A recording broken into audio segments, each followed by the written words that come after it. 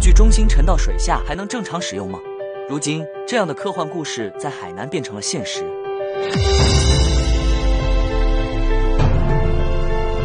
大家好，我是人民日报记者曹文轩。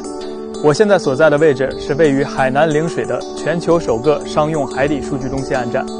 那么，在我身后的就是海底数据中心工程实验样机。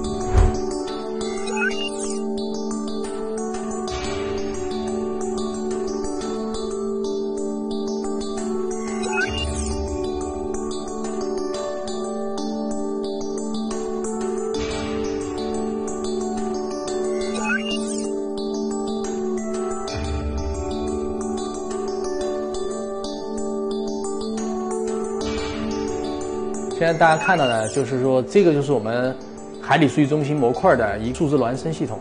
然后通过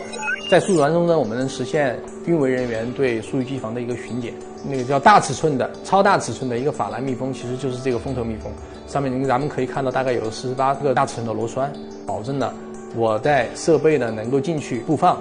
同时呢海水呢没法通过它渗透进去。上面很多的管线、电缆其实都会进入到舱内，进入到舱内呢，其实这些密封呢也都是我们的一关键技术和核心挑战啊。